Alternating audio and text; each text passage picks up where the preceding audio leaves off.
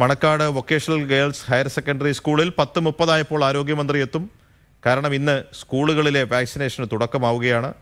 പരമാവധി കുട്ടികളിലേക്ക് Covid vaccination എത്തിക്കുകയാണ് ലക്ഷ്യം. വിദ്യാഭ്യാസ വകുപ്പിന്റെയും ആരോഗ്യ വകുപ്പിന്റെയും സംയുക്ത നേതൃത്വത്തിലാണ് ഒരുക്കങ്ങൾ പൂർത്തിയായിരിക്കുന്നത്. ഇപ്പോൾ Manacaud V H S C സ്കൂളിൽ ഞങ്ങളുടെ പ്രതിനിധി ഏഞ്ചൽ മേരി ആണ് ഇപ്പോൾ ചേരുന്നത്. ഏഞ്ചൽ സ്കൂളുകളിലേക്ക് വരാൻ കുട്ടികൾക്ക് പേടിയൊക്കെ ഉണ്ട് പക്ഷേ ഇപ്പോൾ സ്കൂളുകളിൽ വരുന്ന കുട്ടികളിലേക്ക് പരമാവധി വാക്സിൻ എത്തിക്കാനാണ്. എന്തൊക്കെയാണ് ക്രമീകരണങ്ങൾ? കുട്ടികളുണ്ടോ ഇന്ന് സ്കൂളിൽ? Jadi, sekarang?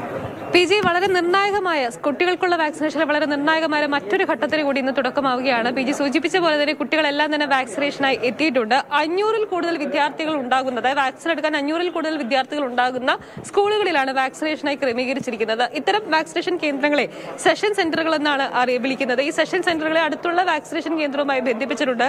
ഒരു മെഡിക്കൽ ഓഫീസർ ഒരു വാക്സിനേറ്റർ ഒരു സ്റ്റാഫ് നഴ്സ് ഒപ്പം സ്കൂൾ നൽകുന്ന സപ്പോർട്ടിംഗ് സ്റ്റാഫ്. ഇത്രയും പേരുടെ സഹായത്തോടു കൂടിയായിരിക്കും സ്കൂളുകളിൽ വാക്സിനേഷൻ നടത്തുക.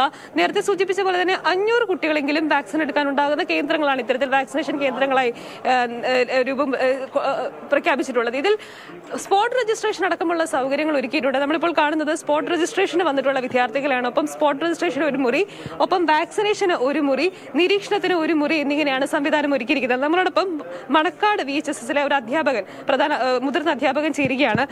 എന്തൊക്കെയാണ് ഒരുക്കങ്ങൾ? ഒരുക്കങ്ങളെല്ലാം പൂർത്തിയായിട്ടുണ്ടോ? ആ ഒരുക്കങ്ങളെല്ലാം പൂർത്തിയായിട്ടുണ്ട്. ഇനി വാക്സിനേഷൻ തുടങ്ങാനായിട്ട് ഇപ്പോൾ ഡോക്ടേഴ്സ് എല്ലാം എത്തിയിട്ടുണ്ട്. അതുപോലെ തന്നെ ആരോഗ്യവകുപ്പിലെ മറ്റ് വാക്സിനേഷൻ എടുക്കുന്ന സ്റ്റാഫ് എത്തിയിട്ടുണ്ട്. താമസിയാതെ തന്നെ വാക്സിനേഷൻ തുടങ്ങുന്നതാണ് ഒമ്പതരയ്ക്ക് ശേഷമെന്നാണ് സമയം പറഞ്ഞിട്ടുള്ളത്. കുട്ടികൾ രജിസ്ട്രേഷൻ നടത്തിയ കുട്ടികൾ വന്നിട്ടുണ്ട്. ഒരു റൂം രജിസ്ട്രേഷന് വേണ്ടി ഒരു റൂം വാക്സിനേഷന് വേണ്ടി ഒരു റൂം അതിന്റെ ഒബ്സർവേഷന് വേണ്ടി അങ്ങനെയാണ് തയ്യാറാക്കിയിരിക്കുന്നത്. മിനിസ്റ്റർ പത്തരയോടുകൂടി എത്തിച്ചേരുമെന്നാണ്. കുട്ടികൾക്കാണ് ഇന്ന് ഇവിടെ വാക്സിൻ നൽകുന്നത്? ഇരുന്നൂറ് കുട്ടികൾക്കാണ് ഇന്നിവിടെ വാക്സിനേഷൻ നൽകുന്നത്. അഞ്ഞൂറിൽ പുറത്ത് കുട്ടികളുള്ളിടത്താണ് വാക്സിനേഷൻ സെന്ററുകളായിട്ട് അനുവദിച്ചിട്ടുള്ളത്. അപ്പം നമ്മുടെ സ്കൂളിൽ ഇപ്പോൾ ഇരുന്നൂറിൽ പുറത്ത് കുട്ടികൾക്ക് ഇന്ന് വാക്സിനേഷൻ നടത്തുന്നുണ്ട്. നാളെയും മറ്റന്നാളും ഒക്കെ വാക്സിനേഷൻ ഉണ്ടാകും ഉണ്ടാവാനാണ് സാധ്യത. അങ്ങനെയാണ് അറിയിപ്പ് വന്നിരിക്കുന്നത്. അഞ്ഞൂറ് കുട്ടികൾക്ക് വാക്സിനേഷൻ പൂർത്തിയാക്കുന്നതുവരെ വാക്സിനേഷൻ സെന്റർ ആയിരിക്കും ഇത്. രജിസ്ട്രേഷൻ അടക്കം അധ്യാപകരുടെ സഹായത്തോടെ കൂടി പൂർത്തിയാക്കിയാണ് ഇപ്പോൾ കുട്ടികൾ വാക്സിനേഷൻ എത്തിയിരിക്കുന്നത്. വാക്സിനേഷൻ റൂമുകളിൽ ഒരുക്കങ്ങൾ പുരോഗമിക്കുകയാണ്. ഞാൻ നേരത്തെ സൂചിപ്പിച്ച പോലെ തന്നെ ആരോഗ്യ പ്രവർത്തകരുണ്ട്. ഒപ്പം സ്കൂൾ തന്നെ നൽകിയിട്ടുള്ള നിരീക്ഷണത്തിന് വേണ്ടി അവർ നൽകി വിട്ടു നൽകിയിട്ടുള്ള അധ്യാപകരുണ്ട്. ഇവിടെ വാക്സിനേഷൻ പൂർത്തിയാക്കിയ ശേഷം അരമണിക്കൂർ നേരം കുട്ടികൾ നിരീക്ഷണത്തിലാണ്. ഞാൻ നേരത്തെ സൂചിപ്പിച്ച പോലെ തന്നെ തൊട്ടടുത്തുള്ള വാക്സിനേഷൻ കേന്ദ്രവുമായി ബന്ധിപ്പിച്ചിട്ടുണ്ട്. ഈ എല്ലാ തരത്തിലുള്ള സെഷൻ സെന്ററുകളും. അതുപോലെ തന്നെ കുട്ടികൾക്ക് എന്തെങ്കിലും ആരോഗ്യ പ്രശ്നങ്ങൾ ഉണ്ടാവുകയാണെങ്കിൽ ഉടനടി തന്നെ നടപടി ഉണ്ടാകും എന്നാണ് അറിയിച്ചിട്ടുള്ളത്.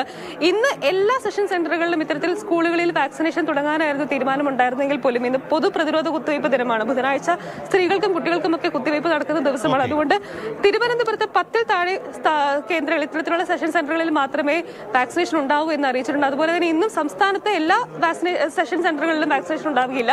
നാളെയോടുകൂടിയായിരിക്കും പൂർണതോതിൽ സ്കൂളുകളിലെ വാക്സിനേഷൻ തുടങ്ങുക. P G. ഏഞ്ചൽ മേരിയാണ് മണക്കാട് സ്കൂളിൽ നിന്ന് വാക്സിനേഷന്റെ ചിത്രം നമുക്ക് നേരിട്ട് നൽകിയത്.